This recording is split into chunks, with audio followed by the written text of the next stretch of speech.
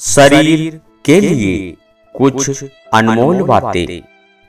Number एक रात्रि में फलों का सेवन बिल्कुल न करें।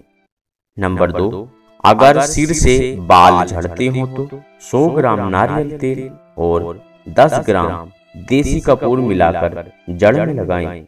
नंबर तीन हल्दी की गांठ भूनकर दांतों के बीच में रखने से दांत का दर्द सही होता है। नंबर चार उल्टी आने पर पुदीने के रस में कपूर मिलाकर कुछ बूंद सेवन करें। नंबर पाँच आलू बुखारा चूसने से शरीर की गर्मी निकलती है। नंबर छह बच्चों को जंक फ़ूड मैदा चिप्स न दें।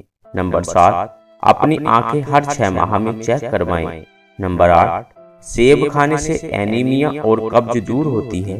नंबर नौ खड़े होकर पानी न पिए इससे घुटनों को दर्द हो सकता है नंबर दस तेल व घी न पचे तो आप कलौंजी खाएँ।